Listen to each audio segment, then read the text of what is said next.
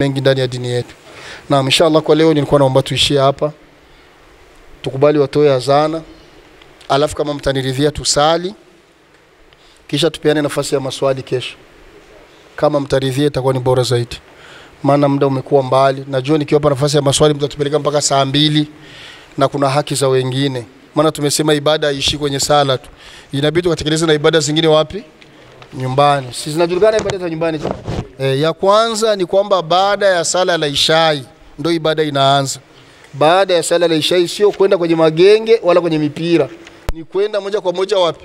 Nyumbani. Na ndio hikma ya Mtume kutukataza kutembeleana baada ya ishai, kwa sababu baada ya ishai kuna hikma za watu wa nyumbani. Maana kuna wengine mnatoka msikitini saa mbili alafu unaingia nyumbani saa nne. Ulikuwa wapi? Unajua wewe mwenyewe.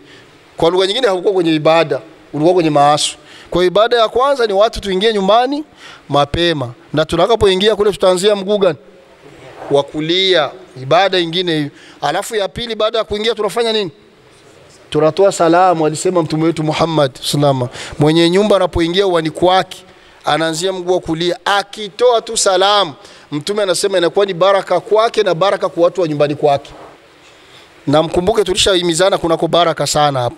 Kwa hiyo tutumie hayo, alafu mengine kule ndani yanajulikana. Tutakula na mkono wa kulia, kabla ya kulala tutachukua udhu, tutasali bila shaka. Wale wenye kulala sana watasali witri, wale ambao watasali usiku mwingi sio vibaya. Na mkulala tunaanzia ubavu gani?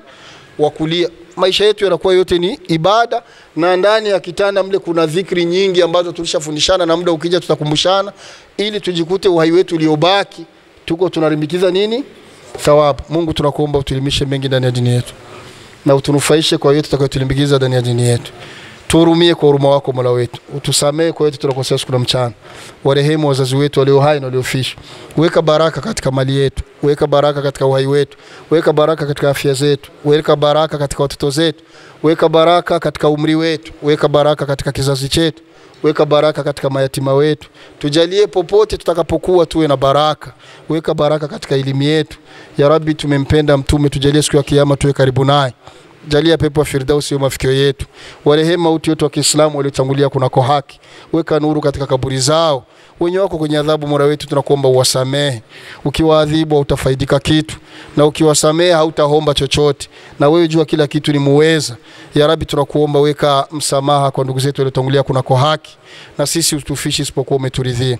Rabbana atina fi dunya hasana wa fil akhirati hasana wa qina adhaban nar birahmatika ya arhamar rahimin wa sallallahu ala sayyidina Muhammad وعلى آله وصحبه وسلم والحمد لله رب العالمين والسلام عليكم ورحمة الله وبركاته.